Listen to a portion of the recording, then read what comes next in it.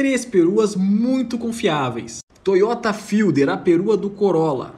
Já falei dela aqui, um carro muito confiável e confortável. A maior dificuldade hoje em dia na hora de comprar uma delas é achar uma com baixa quilometragem, porque normalmente vão estar acima dos 200 mil. E outro ponto também que me incomoda nesse carro é que ele é um pouco fraco em equipamentos. E isso vale para o Corolla Sedan também. Mas vale muito a pena. Paraty geração 4, para quem não sabe, ela foi vendida até 2013 um verdadeiro tanque de guerra. Claro que é um carro bem simples, mas você pode encontrar com direção hidráulica, ar-condicionado, vidro elétrico, mas a construção é de um carro simples. É um carro muito fácil e barato de manter. Usa o renomadíssimo motor AP, uma excelente opção familiar. Renault Megane Grand Tour. Ai, você já falou mal, você não sabe nada de carro, seu mentiroso. Calma. Eu realmente já falei mal de Megane por aqui, porque tem uns Meganes anunciados a 12, 13 mil reais que só sendo muito para comprar e achar que não vai dar nada de ruim.